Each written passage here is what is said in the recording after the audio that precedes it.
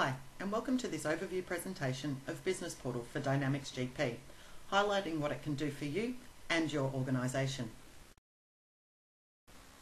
Throughout this demonstration, we will be running through some of the features and functionality available out of the box with Business Portal. What we have displayed here is the Business Portal homepage. It is available to provide links and other information relevant to your organisation. As Business Portal is SharePoint, it can be used as a central shared location of information. There are a number of centres available tailored by role, such as the Executive Centre, which we will have a look at now. From the Executive Centre page, there are many links to dashboards available. First, we will go and have a look at the Financials dashboard.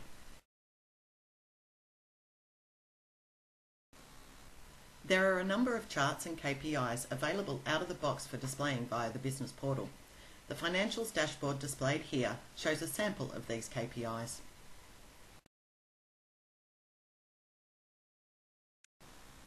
If we move to the sales dashboard, we can see a number of the charts on display.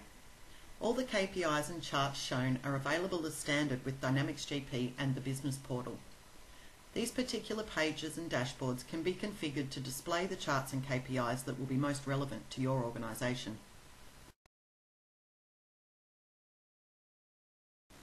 Moving on to the Purchasing Centre, one of the Functional Centre pages, we can view detailed information directly from Dynamics GP, such as purchase orders by creditor. By simply selecting a creditor, a list of their purchase orders is automatically displayed, including the current purchase order status. The default display can be further restricted by entering search criteria. I am looking for the status of the purchase order containing the numbers 999 in this scenario. From my query, the returned results show just the purchase order containing the numbers 999 and I can easily see that this purchase order has been received. Business Portal can also be tailored to suit using the security roles that are available.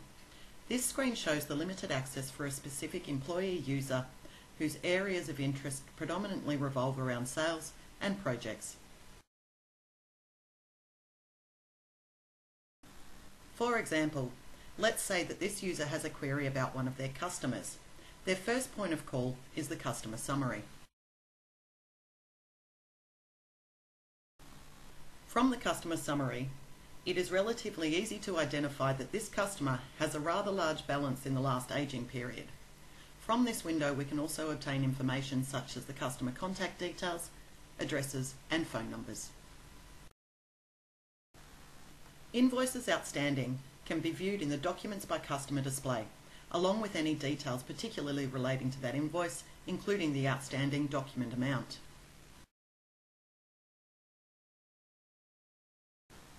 Previous customer payments can also be displayed. However, this particular user is after a little more detail and is going to run a query instead.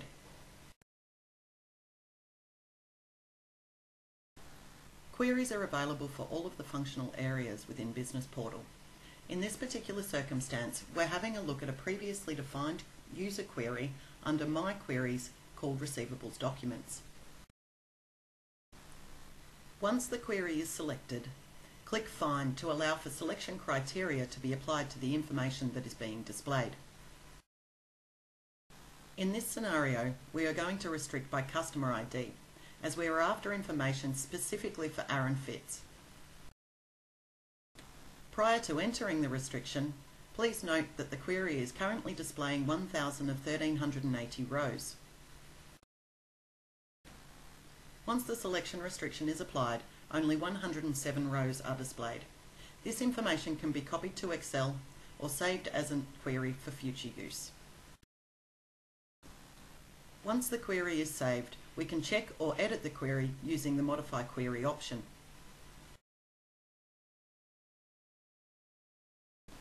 You will note that the customer ID has automatically been restricted to the selection that was saved.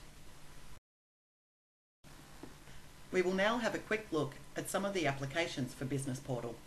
Business Portal is not only a source of information, it can also be an entry point for information.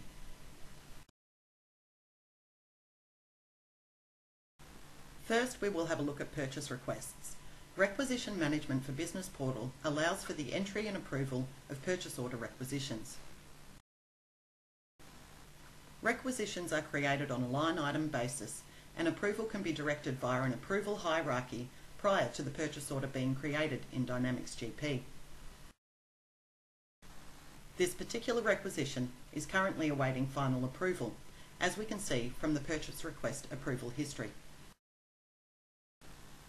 Once final approval has been received, a purchase order is subsequently created in Dynamics GP. We will now have a quick look at the transactions available for use with project accounting. Timesheets can be entered and approved via the business portal prior to their processing through to Dynamics GP. Timesheets can be recorded, saved and modified prior to the point that they are approved. Once a timesheet has been completed, it can then be submitted for approval. You will note that the timesheet status has now updated to submitted, so let's go and have a look at the approver view. The Project Document Approver has an additional menu item specifically for project document approval as you can see on the left hand side. Project Document Approval page shows the timesheet that was just submitted being available for approval. From here, the timesheet can be reviewed, terminated, returned or approved. Once the timesheet is reviewed and approved, it is processed through to Dynamics GP. Once processed, the timesheet no longer appears on the manager's approval list. Navigating back to the home page, the last item we are going to preview in this presentation is the Reports Centre. The Reports Centre page in this scenario is configured to display the many Excel and SRS reports available with Dynamics GP out of the box.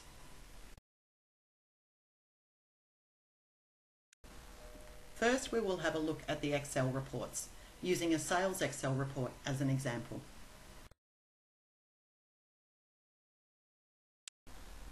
From the list of reports available, we are going to have a look at the customer's current balances. We have the option of opening a read-only or an editable version. We want to be able to refresh the report data, so the option to edit is chosen. When launched, Excel is automatically opened and the customer balances report is displayed. What we can also do from here is click on the data menu and refresh the balances as required directly from GP without having to go back and download the report again.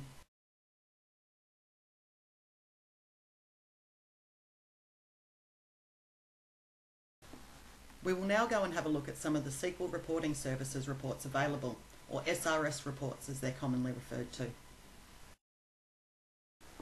In keeping with the same theme, we are going to be looking at one of the sales reports in our example.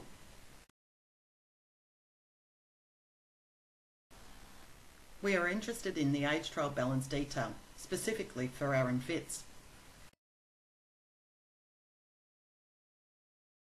Once selected, then the parameters for the report can be entered. Note that the detail is currently set to no, therefore a summary report will be displayed. Changing the detail option to yes and applying the change resets the report and displays the detail.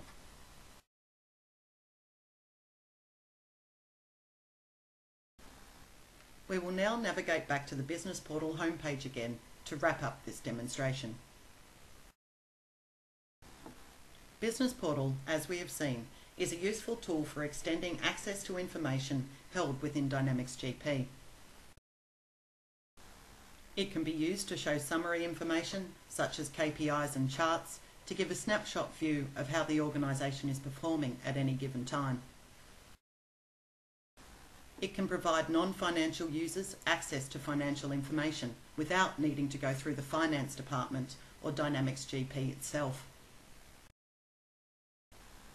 In conclusion, we have seen that Business Portal can be an inquiry tool, an ad hoc query tool, can have functional transaction capability, be a report repository, and much more. Thank you for your time in watching this demonstration. That concludes our overview demonstration. If you would like to know more about the Business Portal and Dynamics GP, please do not hesitate to contact your Eclipse account manager. Thank you.